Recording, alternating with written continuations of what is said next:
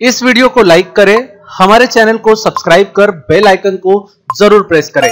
हमारे latest video सबसे पहले देखने के लिए। हेलो दोस्तों, क्या आपने बिना पेट्रोल, डीजल के गाड़ियों को चलते देखा है? नहीं ना। लेकिन भारत में एक ऐसी रहस्यमयी पहाड़ी है, जहाँ गाड़ियाँ तेल से नहीं, बल्कि अपने आप चलती है। और इस पहाड़ी के आसपास अगर कोई रात को अपनी गाड़ी खड़ी कर दे तो सुबह तक उसे अपनी गाड़ी ही नहीं मिलेगी। ये कैसे होता है? अब तक रहस्य ही बना हुआ है। ये रहस्यमयी पहाड़ी लद्दाख के लेह क्षेत्र में है। ये पहाड़ी किसी जादू से कम नहीं है। वैज्ञानिकों का मानना है कि इस पहाड़ी में एक चुंबकीय शक्ति है, जो गाड़ियों को करीब 20 किलोमीटर प्रति घंटे की रफ्तार से अपनी ओर खींच लेती है और इसीलिए इसे मैग्नेटिक हिल कहा जाता है। इस मैग्नेटिक हिल को ग्रेविटी हिल के नाम से भी जाना जाता है और माना जाता है कि इस पहाड़ी पर गुरुत्वाकर्षण का नियम फेल हो जाता है। गुरुत्वाकर्षण के नियम के अनुसार अगर हम किसी वस्तु को ढलान पर छोड़ दे तो वो नीचे की तरफ़ लुढ़केगी, लेकिन चुंबकीय पहाड़ी पर ऐसा नहीं होता। यहाँ हम किसी कार को अगर गियर में डालकर छोड़ दे तो कार ढलान पर नीचे की ओर न जाकर ऊपर की ओर चढ़ती है। और यहाँ पर किसी तरल पदार्थ को भी बहाने पर वो नीचे की तरफ़ न जाकर ऊपर की तरफ़ बहता है। वैज्ञानिकों का मानना है कि गुरुद्वारा पठार साहिब के पास स्थित पहाड़ी में गजब की चुंबकीय शक्ति है। इस पहाड़ी की चुंबकीय शक्ति से आसमान में उड़ने वाले जहाज़ भी नहीं बच पाते हैं। इस पहाड़ी के ऊपर से उड़ान भर चुके कई पायलटों का दावा है कि यहाँ उड़ान भरते समय हवाई जहाज़ में कई झटके महसूस होते हैं। हवाई जहाज़ को पहाड़ी की चुंबकीय शक्ति से बचाने के लिए जहाज़ की रफ्तार बढ़ा दी जाती है। हालाँकि कुछ लोगों का मानना है कि इस पहाड़ी के आसपास की क्षेत्रीय संरचना दृष्टि भ्रम जैसा माहौल पैदा करती है, जिससे नीचे की तरफ़ लुढ़कती हुई वस्तु ऊपर की तरफ़ चढ़ती दिखाई देती है। इस खबर में अभी के लिए बस इतना ही। वीडियो को लाइक करे और अपने दोस्तों के साथ व्हाट्सएप फेसबुक पर शेयर ज़रूर करें। जिन दोस्तों ने अभी तक हमारे चैनल को सब्सक्राइब नहीं किया है, वो हमारे चैनल को सब्सक्राइब कर ले। बेल आइकन को दबाना ना भूले, ताकि आपको मिल सके हमारे हर लेटेस्ट वीडियो का नोटिफिकेशन सबसे पहले। धन्यवाद।